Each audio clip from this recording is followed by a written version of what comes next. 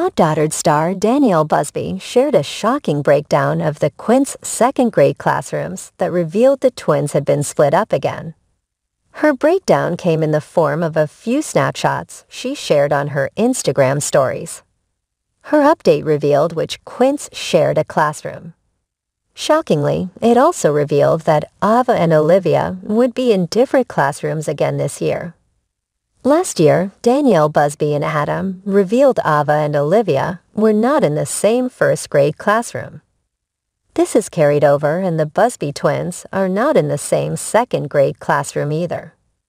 Outdaughtered fans are always quick to call attention to Adam and Danielle splitting up the twins.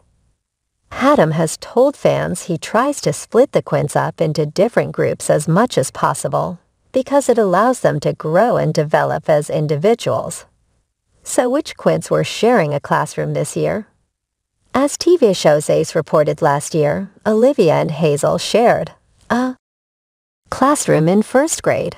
Ava, Parker, and Riley were in a different first grade classroom. This year, things have been switched up again. Hazel and Ava are in a class together. Parker, Riley, and Olivia are in a different classroom together. As fans know, Olivia and Hazel developed a super close bond being in first grade together. So fans wonder how that will change or if Hazel and Ava will now have a chance to develop that close bond too.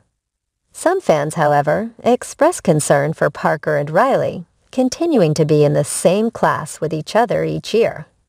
Some fans wonder if there are more than two classrooms to break the girls up even further.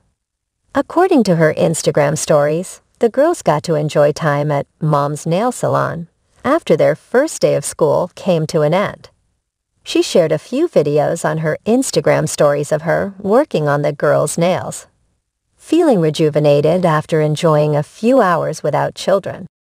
This mama bear seemed very happy to have her cubs back home with her. What do you think about the Busby twins getting split up into different classrooms for second grade? Do you think they need to consider breaking up Parker and Riley too?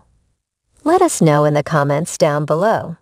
And keep coming back for more on Outdaughtered.